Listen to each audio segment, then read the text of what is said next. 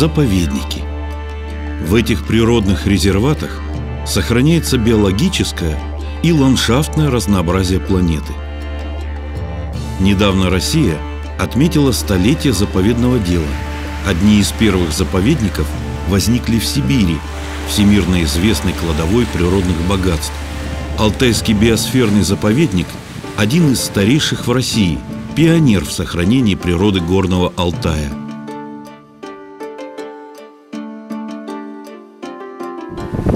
Алтайский заповедник один из крупных в России. 872 тысячи гектаров. На одного инспектора приходится 24 тысячи гектаров горно-таежной местности без дорог, по которой можно только пешком на лошади добраться куда-то. И вот такие участки контролируют инспектора. Естественно, есть оперативная группа, естественно, есть э, кордонные службы. Это все система, которая в целом создает каркас охраны. Но вот сейчас мы находимся в Юзулинском участке, он самый отдаленный. Заповедник создан в 1932 году. Он расположен в центре Алтая-Саянской горной страны на северо-востоке Республики Алтай. Его обширная территория протянулась на 230 километров. От районного центра села Улаган до кордона Язула 120 километров по дороге, известной каньонами рек Башкаус и Чулышман и серпантинами горных перевалов –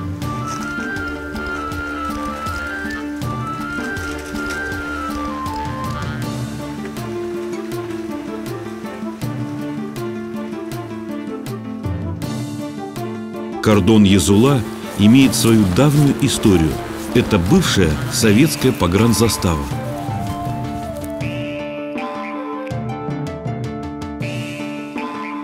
Пограничная застава 30-х годов. И сохранилась она, собственно говоря, великолепно, почти в том виде, в котором была.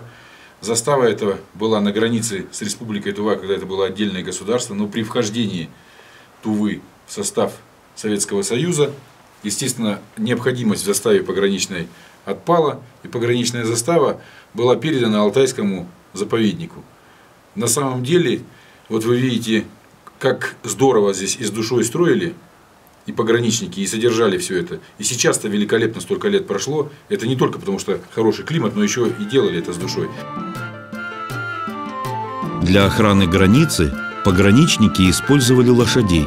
Возможно, этой старой конюшни более 70 лет. Удивительно, насколько хорошо она сохранилась, как и другие строения заставы.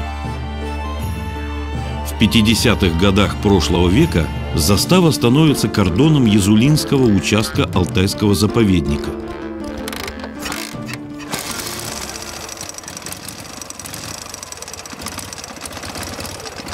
Историю любого заповедника создают люди – а работать в Алтайский заповедник ехали со всей страны. Так и Сергей Шевченко из Донбасса. Почти четверть века он живет на кордоне Язула. В непростые 90-е годы Сергей сумел сохранить кордон от разорения. Без связи, без дорог, без удобств. Он преодолел здесь немало трудностей.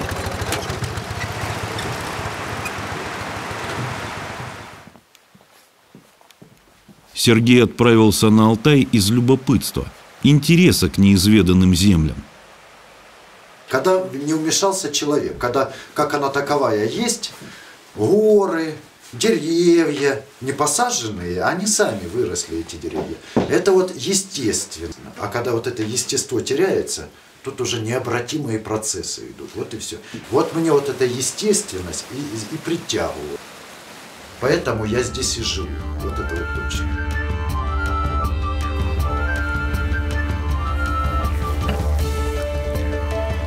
Вместе с Сергеем на кордоне работают два местных инспектора. Семен и Санат трепетно относятся к природе и не дают поблажек даже односельчанам.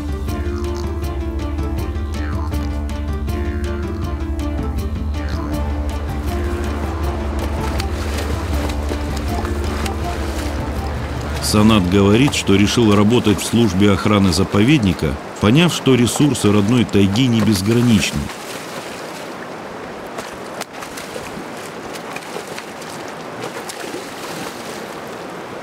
Алтайское село Езула, в котором живут госинспекторы, расположено на высокой прибрежной террасе в окрестностях реки Чулышман в 7 километрах от кордона.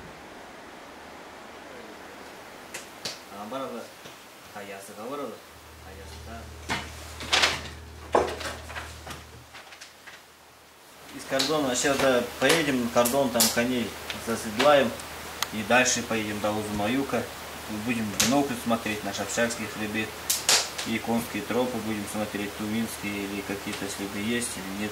Родственник соната Роберт имеет сельскохозяйственные угодья рядом с территорией заповедника. Такое соседство не мешает им мирно сосуществовать.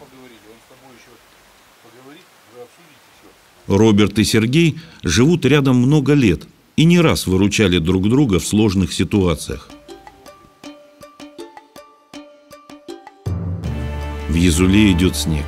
Природа засыпает. Тайга и люди готовы встретить суровую зиму, которая уже не за горами.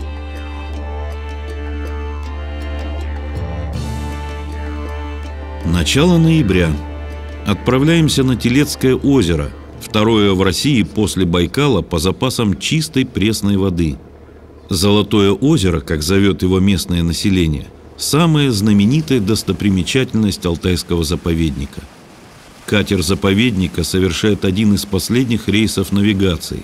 Нужно многое успеть. Развести по кордонам грузы, доставить сотрудников в Яйлю, а группу исследователей к водопаду Корбу. И в снег, и в шторм труженик Зурбаган уверенно рассекает волну. Хотя в такую погоду не к любому берегу причалишь. У Телецкого озера суровый нрав. Чтобы не зависеть от капризов озера в межсезонье, люди на кордонах живут автономно, выращивают овощи и фрукты, разводят скот. Инспектор Труляев из кордона Караташ одолжил в Яйлю племенного козла. Теперь, воспользовавшись оказией, возвращает производителя хозяину. Владимир умеет ладить с животными, знает повадки диких зверей и птиц – его видеозарисовки раскрывают тайны Прителецкой горной тайги.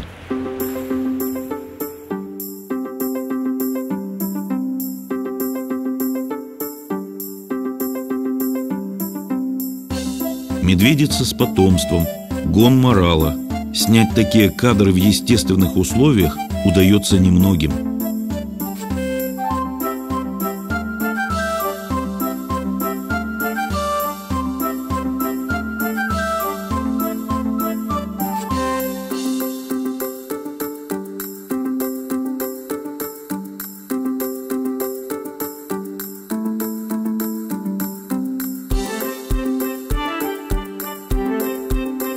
Из снежной пелены проглядывает поселок Яйлю.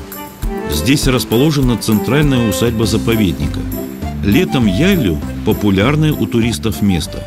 В межсезонье жители поселка ведут размеренную жизнь в заботах о хозяйстве. А у сотрудников заповедника всегда полно работы. И ни погода, ни помеха. Зурбаган держит путь на юг. Говорят, на территории заповедника – около 150 водопадов. Корбу – самый популярный. В летнее время сюда устремляются тысячи туристов. Зимой природа отдыхает.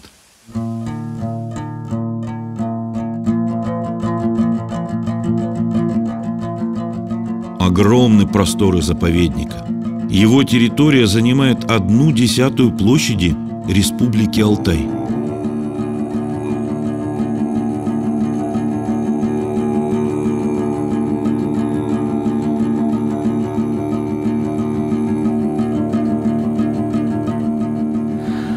Ну, наверное, многим известно, особенно кто э, периодически там интересуется ситуацией в заповедниках, историю заповедной системы изучает, знает, что Алтайский заповедник очень большой. В свое время он был почти миллион 250 гектаров, просто после закрытия, когда Хакасия отошла от нас, у нас сейчас нынешняя территория, ну, и даже те же, которые, ну, условно говоря, почти 900 тысяч гектаров, понятно, очень сложный, очень сложный в э, рельефном отношении территории, э, горно-таежные леса, гольцы, э, тундры, соседство с Тувой, с Хакасией. Поэтому это представляет э, сложности для охраны. Понятно, что у нас мы уже за годы работы знаем, где основные направления, какие виды, где браконьерство на кабаргу, где массовая рыбало, э, рыбалка во время нереста. Поэтому свою работу строим из того, что по сезонам, где на самые острые места. Понятно, что огромная нехватка кадров, тем более опытных кадров, потому что нужно уметь в горно-таежных условиях не только как бы знать законы, а юридически быть подкованным, нужно еще быть очень физически выносливым. Как и другие особо охраняемые природные территории, Алтайский заповедник снабжен необходимой техникой. Только не везде она сгодится. Есть проверенные способы передвижения по тайге, которым тысячи лет.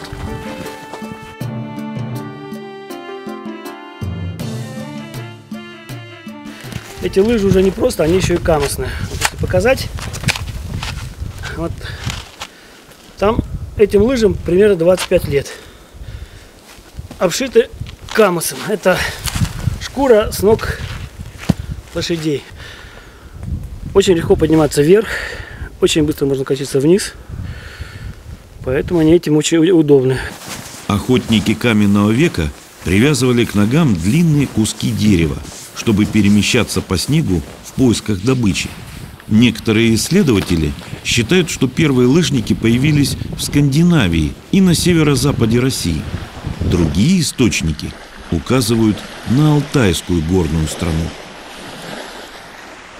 В комплекте с лыжами камусными всегда необходим каек. Вот это каек, так называемый классический. Но в данном случае, можно сказать, еще и усовершенствованный. Сам ствол и плюс чашка, потом ребро жесткости, гребень. Для чего? Это и э, руль, и тормоз. Нужно водичку можно достать, попить, к примеру. Ну, в данном случае снег. Можно там проверить у охотников, проверить свежесть следа. Когда идешь, во-первых, ты маленько поддерживаешь просто рюкзаком. Во-вторых, ты тормозишь им. Вот раз надавил, а степень нажатия, торможения. Во-вторых, эта техника еще поворота важна. Можно иногда перехватывать, в зависимости, в какую сторону ты поворачиваешь. Для нашей э, службы госинспекции, госинспекции по охране особых природных территорий, в данном случае для инспекторов Алтайского заповедника, это ну, зимой это первый помощник. Потому что у нас очень пересеченная горно-таежная местность, а, троп нету, дорог нету, снегоходы и прочие нововведения сейчас не тянут. Мы ходим в основном вот на камусных лыжах. Это вот подъем, допустим, от уровня озера до двух с половиной тысяч, до, трех тысяч иногда даже приходится подниматься. Инспекторам службы охраны заповедника приходится штурмовать большие расстояния на автомобилях, верхом, пешком или на лыжах. Браконьерство было и остается острой проблемой. Требуется серьезная подготовка, чтобы своевременно пресекать любые нарушения заповедного режима. Оперативная группа проходит тренировку на кордоне Езула.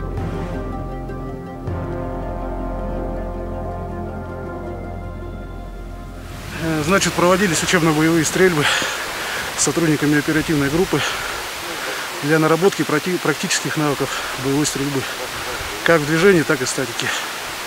Проводятся такие боевые стрельбы постоянно сотрудниками, потому что э, чем лучше сотрудник владеет огнестрельным служебным оружием, тем реже он применяет его в своей профессиональной деятельности. А не применение оружия и грамотное задержание нарушителей браконьеров – это важный показатель профессионализма э, работников оперативной группы.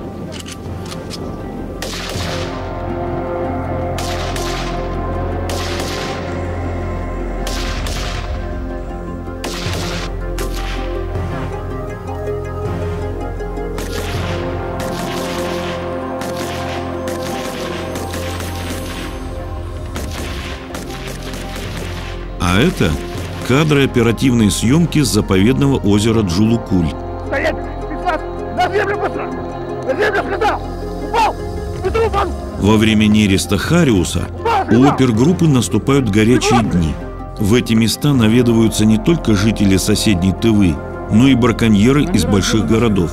Для одних это способ существования, для других – жестокое хобби. В любом случае, закон един для всех. На землю быстро! Спецназ! Бегом! Стрелять буду на землю всех! Ну что говорить? Все, я взял четыре мотоцикла. Лег, я сказал, лег! Браконьерство ведет к сокращению нерестовых популяций.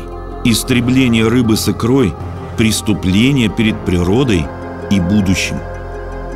Госинспекторы работают в сложных условиях. Объекты охраны расположены в труднодоступных местах. Патрулирование ведется круглосуточно. Не хватает людей.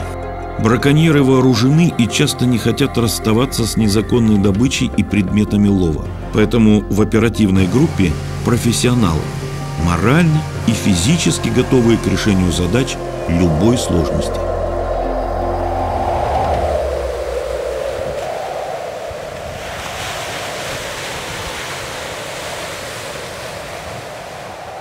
Середина февраля. К югу от поселка Яйлю формируется молодой тонкий лед.